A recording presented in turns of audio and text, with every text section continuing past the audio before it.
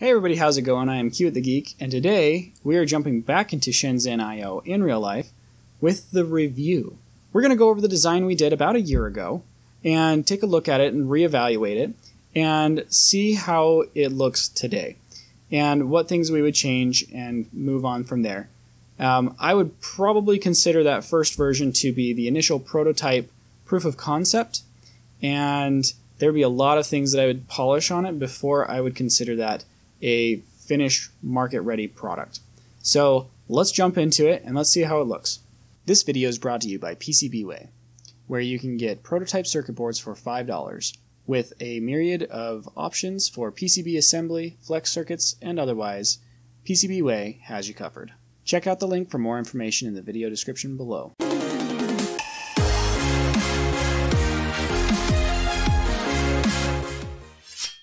Okay, so let's go ahead and familiarize ourselves with this a little bit since it has been a little while.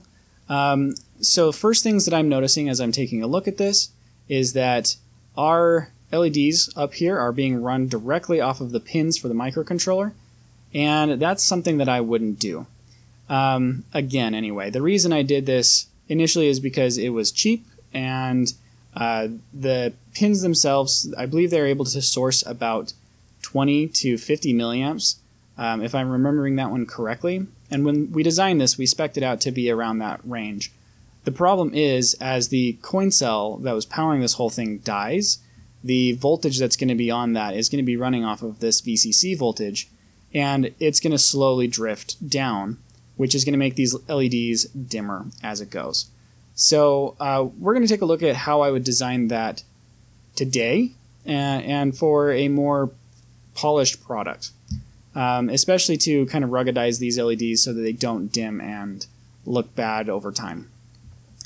The next thing that I see is that we were are running a 16 megahertz resonator here. Now, if I do remember correctly, one of the things that I kind of saw after I was working through this is uh, when you're running the Arduino um, Atmega 328P off of 3.3 volts, you actually can't even run it at that 16 uh, megahertz that we put this on here. It gets downclocked to 8 um, from the internal oscillator. And so that's something that I would probably just remove that and run with the 8. There's nothing with this project that makes it require uh, that full, you know, that, that full speed. It's the, the timing on these LEDs is non-critical, so it really doesn't matter. We could get by with just the internal oscillator. The reset switch and everything, that looks good to me. Uh, I wouldn't change anything there. The programming header, that looks fine. Uh, the input capacitor, I'm pretty sure all of these were from the open source schematic for the Arduino.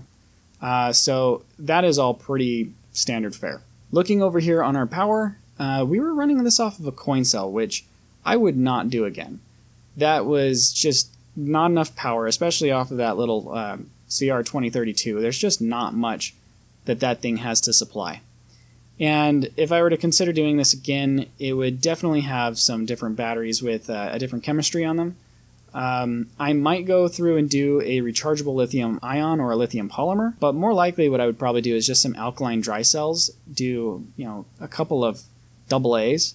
If I remember correctly, the battery capacity on those is somewhere in the range of about 2,400 milliamp hours.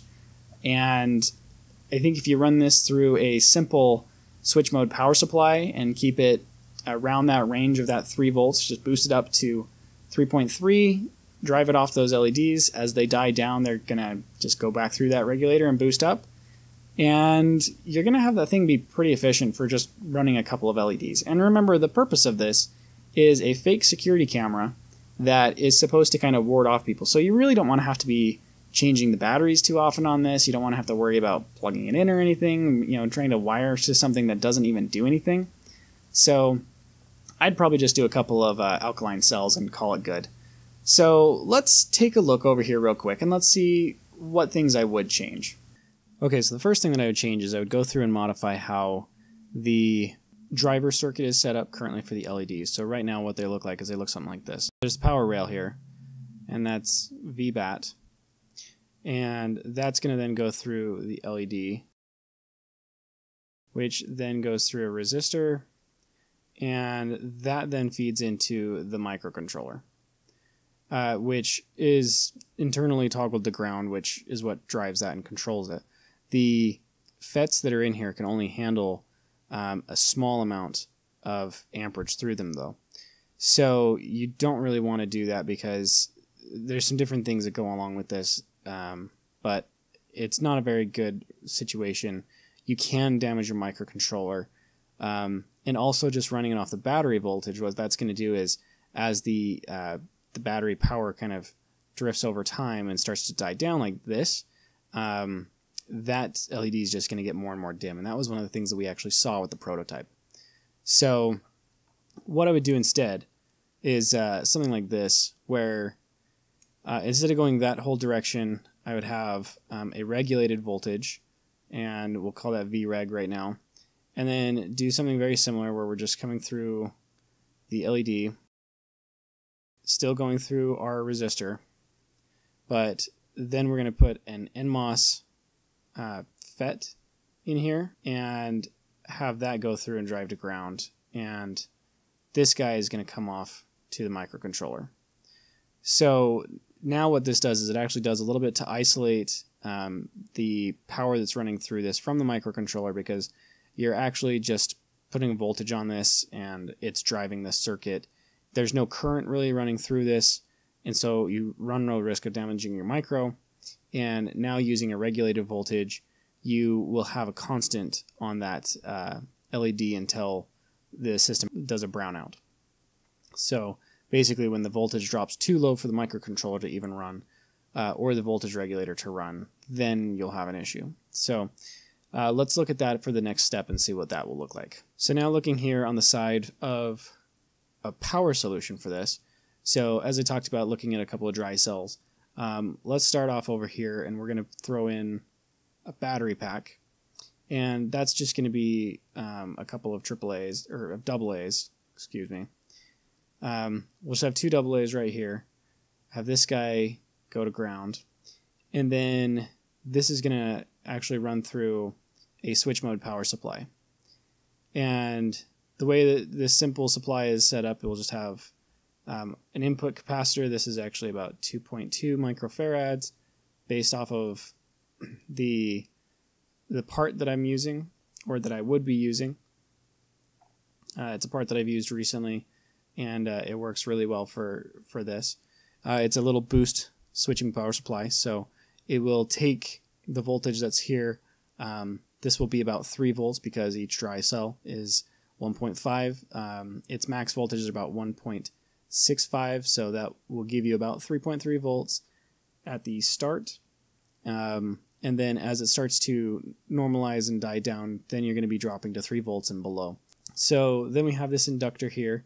Uh, if I remember correctly, this is a uh, 2.2 microhenry. And then this goes into our actual switch mode power supply, which also has a grounding point on it, and then just the output. So you put another buffer cap here.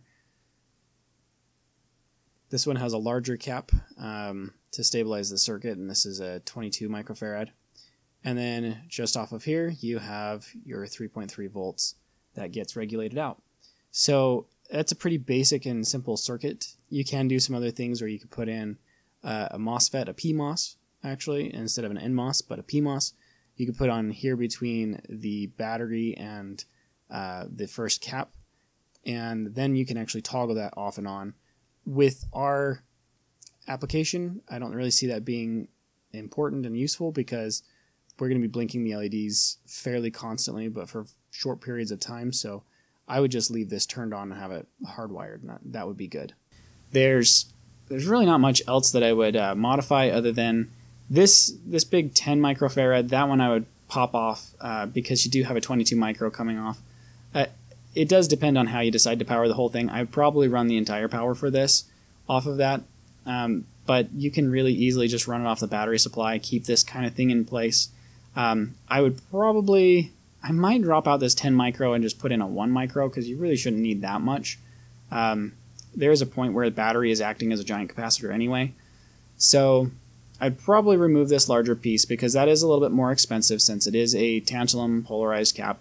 Um, and just put in a 1 microfarad ceramic and replace this with a you know a, double A battery pack and you know, you could run the power from the or for the microcontroller off of the battery and just change this over to VBAT.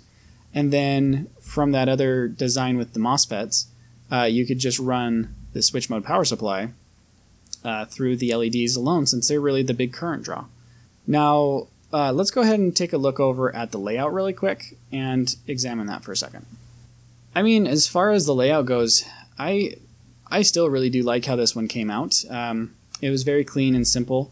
The these lines just kind of traced around nicely. It all just kind of worked.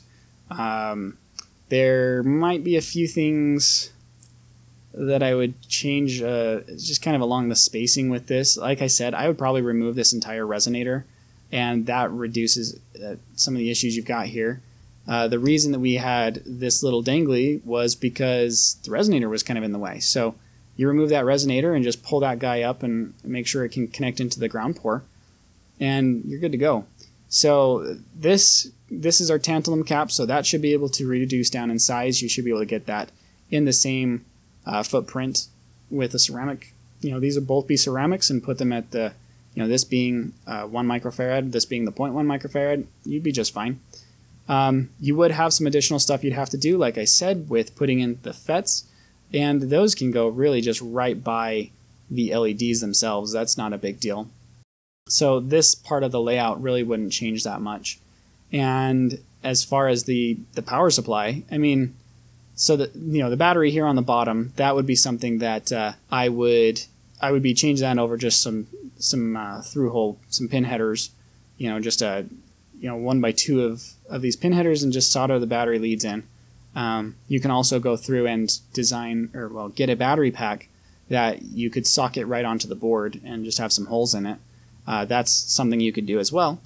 And then there's plenty of space in here to throw in uh, the switch mode power supply, which in this case I I would probably see if I could find some space for it in the middle here. I think there's a, a good deal of space right there to be able to fit it, and that way you'd be able to have that that power that you need, which is only for these LEDs uh, in that redesign. And you just have it, that power right here on this side of the board, and that would make it pretty clean. And all you have is the control lines coming off. So I think if I were to redo this and uh, you know bump it up to a version, uh, it probably would go.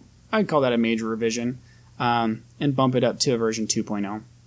I would go through and do those things and and add that in, and maybe at another time I can uh, reevaluate and actually do that. But uh, right now, I just kind of wanted to look back over it, kind of give it some fresh eyes after a long time, and see how it would look now and and how I would change it.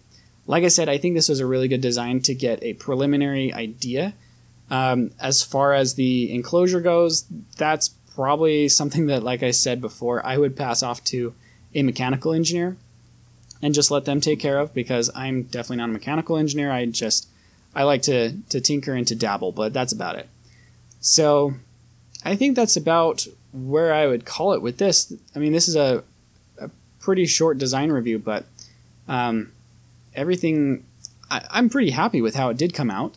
Um, and like I said, as a proof of concept, it's it's decent and it does what it's supposed to do. The only place that I would have uh, desire to change anything would be, like I said before, um, those previous changes of putting some MOSFETs in and putting on a switch mode power supply and a different battery pack. But otherwise, I, you know, we set out to do what we wanted to do. Uh, I could probably get an even smaller microcontroller. We didn't need to use the Arduino. Um, there's tons of them that are out there that are actually you could probably get a little cheaper for the the chips that you could run this whole thing since we're really only talking about controlling two LEDs. Uh, there's some small eight pin chips that you could easily run the you know they only have a handful of GPIO, um, but you could easily run the entire project since it's really only two LEDs, and you could do that pretty quick and pretty easy. So I think as far as it goes, there's definitely some room for improvement here. And as a, a one-off with trying to make it quick and cheap and uh, functional, this was a good way to go. But I would definitely improve on this, and I would definitely change some of the aspects of the design to again just kind of more ruggedize it to uh, have it less susceptible to these brownouts and these different things because as this battery starts to drain, you're going to have the microcontroller resetting and some different things as it drops below the value that uh, this needs to be able to run. And again, the major issue here is that there just wasn't enough power on these LEDs to really, you know, make them shine and make you know that it's there. Uh, they were turning on definitely, and if you were in a dark room and you saw that, then yeah, you you know you'd see them and you'd think there'd be something going on. Uh, and so maybe it would distract somebody at night. But otherwise, uh, I just I, I think this needs to be improved. And I think that's like I said, those are the things that I would change to do that. So that was it, everybody. That was Shenzhen IO the review. Um, I hope you liked that. I hope you learned something from it. Maybe saw some of the things that I did. What would you change? You know, what, what were some of the things that you probably, when you were watching this, go, oh, why would you do that? That's just stupid. Uh, what would what would you change with this design? I want to know your feedback. So go ahead and drop a comment in the comment section below. Otherwise, be sure to like, comment, and subscribe. Share this around to your friends, those who you think might be interested in uh, my work, and let me know what kind of things you want to see next. I've got some plans to continue on with the professional KiCad series and to show some things off like how to do spice simulation and how to do footprint design and some different things. But let me know what you want to see next. I've got a feeling I'm going to have a good deal of free time coming up here in a little bit, so let's uh, see what else we can do. But until then, We'll see you in the next one.